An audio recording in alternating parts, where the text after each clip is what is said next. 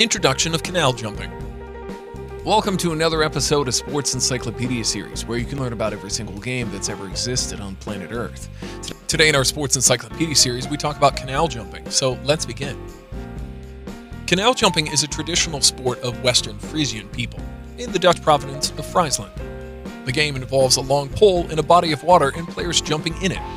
The basic objective of the game is to jump the farthest distance with a pole. How to compete in canal jumping? Canal jumping is an individual sport in which players compete against each other in a body of water. The game begins with all the players lining up on the corner of the water body and jumping on the pole. The long aluminum poles are between 3 and 5 meters long and have a flat, round plate at the bottom to prevent it from sinking into the muddy canal bottom. The players go one by one on their turn after listening to the referee's whistle. The players run towards the water body where the pole is already buried inside. After reaching the pole, the player jumps on it and starts climbing it. They do a shimmy to the top of the pole. Players are allowed to have bicycle straps on their feet, so it's easier for them to climb the pole. Once the player has reached the top of the pole, they vault off of it and try to jump to the opposite side of the bank.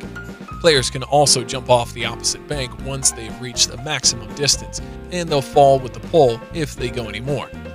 A panel of judges sits at a distance who carefully observe each participant and gives them scores. The scoring can also be done according to the height of the pole reached or the ground distance covered by the player. After all players have completed their turn, the scores are combined. How to win in canal jumping?